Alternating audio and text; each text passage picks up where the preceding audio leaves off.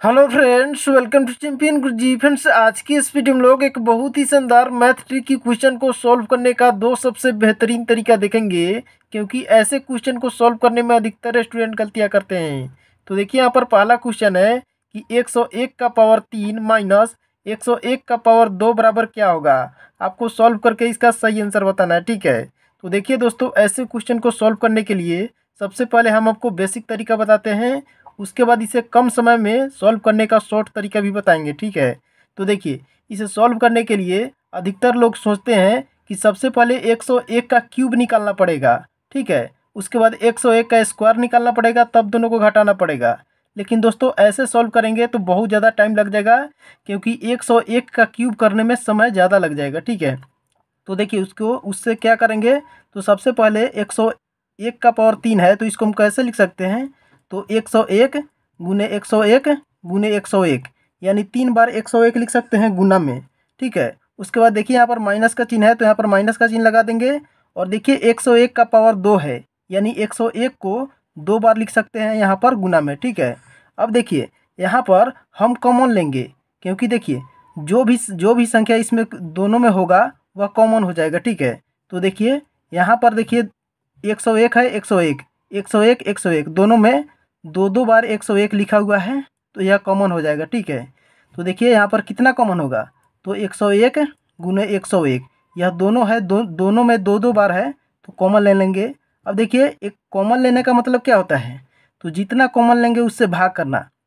देखिए, इसमें से हम एक सौ एक गुने एक सौ एक कॉमन लिए हैं तो इसमें देखिए, एक एक एक सौ एक से एक एक एक सौ एक कट जाएगा फिर दूसरे एक सौ एक से दूसरे एक सौ एक कट जाएगा तो यहाँ पर क्या बच जाएगा तो यहाँ पर केवल एक सौ एक बच जाएगा ठीक है तो यहाँ पर एक सौ एक लिख दिए माइनस का चिन्ह है तो यहाँ पर माइनस का चिन्ह लगा देंगे और देखिए यहाँ से भी एक सौ एक गुने एक सौ एक कॉमन लिए हैं तो देखिए एक सौ एक गुने एक सौ एक से भाग करेंगे तो यह पूरा का पूरा कट जाएगा तो यहाँ पर केवल एक बच जाएगा ठीक है अब देखिए यहाँ पर क्या बच गया तो यहाँ पर एक सौ एक गुने एक सौ एक यानी एक सौ एक का स्क्वायर बच गया और यहाँ पर क्या बच गया? तो यहाँ पर केवल देखिए, सौ, एक सौ एक में से एक घटाएँगे तो क्या आ जाएगा? तो यहाँ पर सौ आ जाएगा, ठीक है।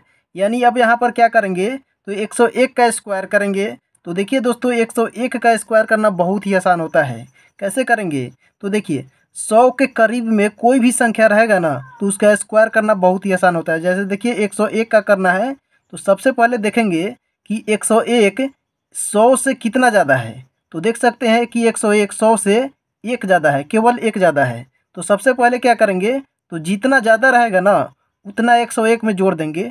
तो एक सौ एक में एक ज़्यादा है तो एक सौ एक में एक जोड़ेंगे तो क्या आ जाएगा? तो एक सौ दो आ जाएगा। अब देखिए यहाँ पर जितना ज़्यादा है, उसका स्क्वायर करके लिखेंगे। तो एक ज़्यादा है तो एक का स्क्वायर क्या होता है? तो एक ही होता है। और देखिए यहाँ पर एक को यहाँ पर लिख देंगे। लेकिन देखिए इसको दो अंक में लिखना है तो इसके पहले एक ज़ीरो लगा कर लिखेंगे। यानी एक सौ एक का स्क्वायर देखिए, बहुत ही आसान तरीका से अपना, आपका निकल कर आ गया है।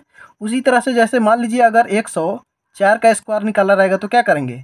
तो सबसे पहले देखिए कि एक सौ चार, सौ से चार ज़्यादा है। तो सबसे पहले एक सौ चार में इस चार को जोड़ दीजिए तो क्या जाएगा? तो एक सौ आठ आ जाएगा। अब क्या करेंगे? तो इस चार का स्क्वायर करेंगे। जितना ज़्यादा उसका स्क्वायर करेंगे तो चार का स्क्वायर कितना होता है? तो सोलह होता है। इस सोलह को डायरेक्ट यहाँ पर लिख देंगे, क्योंकि यह दो अंक में है। यहाँ पर यहाँ पर यह एक था, जो था, एक ही अंक में था तो दो अंक में बनाने के लिए इसके पहले एक ज़ीरो लिखे हैं।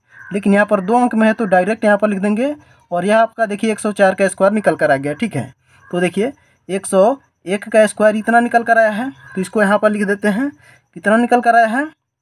तो दस दो सौ एक, दस दो सौ एक लिख दिए, और गुना करना है सौ से। तो सौ से किसी भी संख्या में गुना करना बहुत ही आसान होता है। कैसे करेंगे? देखिए, सौ में दो ज़ीरो है तो दो ज़ीरो इस पर सीधा लगा देंगे। तो दस, दो सौ एक में यहाँ पर दो ज़ीरो लगा देंगे और यहीं आपका इसका सही आंसर हो जाएगा, ठीक है? अब देखिए दोस्तों, इस क्वेश्चन को सॉल्व करने का सबसे आसान तरीका बताते हैं कि कैसे आप इसे इजीली सॉल्व कर सकते हैं। यह तो हुआ बेसिक तरीका, लेकिन देखिए इसको सॉल्व करने के लिए क्या करेंगे? यहाँ पर देखिए, सबसे पहले यहाँ पर देखेंगे कि यहाँ पर एक सौ एक का पावर तीन है और एक सौ एक का पावर दो है। तो इसमें जिसमें कम पावर रहेगा ना, उसी को डायरेक्ट कॉमन ले लेंगे। तो यहाँ पर देखिए एक सौ एक का पावर दो तीन और दो में दो दो कम है तो इसको ही कॉमन ले लेंगे डायरेक्ट एक सौ एक का पावर दो कॉमन ले लेंगे तो देखिए कॉमन ले लिए तो यहाँ पर क्या बच जाएगा? तो देखिए एक सौ एक का पावर तीन है, और इतना से भाग करेंगे दो से तो यह दो दो कट जाएगा, क्योंकि देखिए, यहाँ पर आपको हम बताते हैं, जैसे देखिए, एक सौ एक का पावर तीन है, और इसमें भाग करेंगे एक सौ एक का पावर दो से तो यहाँ से यह कट जाएगा तो यहाँ पर केवल क्या बच जाएगा? तो यहाँ पर एक सौ एक बच जाएगा।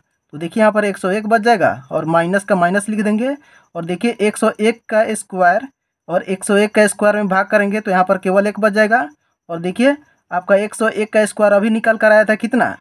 तो दस, दो सौ एक निकल कर आया था और यहाँ पर एक सौ एक में से एक घटाएँगे तो यहाँ पर सौ आ जाएगा और इसमें गुना करेंगे तो दस, दो सौ एक और दो ज़ीरो यहाँ पर लगा देंगे तो देखिए आपका यहीं आंसर निकल कर आ गया, ठीक है। तो चलिए एक और क्वेश्चन देखते हैं ताकि आपको और भी अच्छी तरह समझ में आ जाए। तो देखिए यहाँ पर सेकेंड क्वेश्चन है कि इक्यानवे का स्क्वायर माइनस इक्यानवे बराबर क्या होगा? ठीक है? तो देखिए, यहाँ पर सबसे जो छोटा पावर रहेगा ना, उसी को कॉमन ले लेंगे। तो देखिए, यहाँ पर इक्यानवे का पावर दो है और यहाँ पर इक्यानवे का पावर यहाँ पर कुछ भी नहीं लिखा हुआ है तो यहाँ पर एक छुपा हुआ है, ठीक है? तो देखिए, दो और एक में से कौन कम है? तो एक कम है तो इसी को कॉमन ले लेंगे। इक्यानवे डायरेक्ट कॉमन ले लेंगे। तो देखिए, इक्यानवे इक्यानवे का स्क्वायर है। इक्यानवे का स्क्वायर का मतलब क्या हुआ था? इक्यानवे गुना इक्यानवे। इस इक्यानवे को कॉमन लिए हैं तो इक्यानवे से इसमें भाग करेंगे। यहाँ पर क्या बच जाएगा? तो केवल इक्यानवे बच जाएगा तो यहाँ पर इक्यानवे लिखेंगे और माइनस का माइनस लिख देंगे। और इस इक्यानवे को इसमें से कॉमन लिए हैं तो इसमें भाग करेंगे तो यहाँ पर क्या बच जाएगा? तो केवल एक बच जाएगा। तो देखिए इक्यानवे और यहाँ पर इक्यानवे में से एक घटाएँगे तो क्या जाएगा? तो यहाँ पर नब्बे आ जाएगा और इसको गुना कर देंगे। तो देखिए, नौ में एक से गुना करेंगे तो नौ और नौ में नौ से गुना करेंगे तो इक्यासी और यह एक ज़ीरो यहाँ पर बैठ जाएगा। और यही आपका इस क्वेश्चन का सही आंसर हो जाएगा, ठीक है? तो दोस्तों, इस तरीके से आप बहुत ही आसान तरीके से ऐसे क्वेश्चन को आप सॉल्व कर सकते हैं। तो दोस्तों, वीडियो अच्छा लगा तो वीडियो को लाइक कर दीजिए, चैनल पर नए तो चैनल को सब्सक्राइब कर लीजिए ताकि ऐसी वीडियो आपको रेगुलर मिलती रहे।